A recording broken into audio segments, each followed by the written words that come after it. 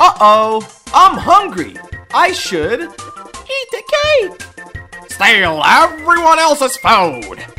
Not worry about it because I have no discreditable mouth. Bean to food and then eat the bean food. Doesn't understand the concept of hunger. Become God.